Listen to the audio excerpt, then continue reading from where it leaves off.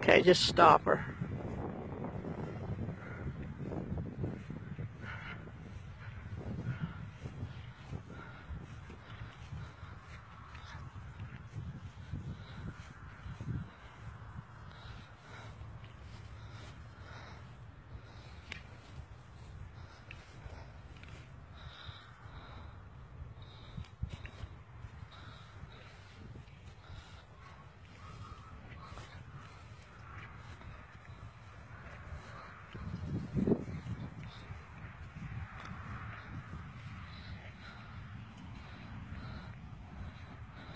Back her up a step, Mike.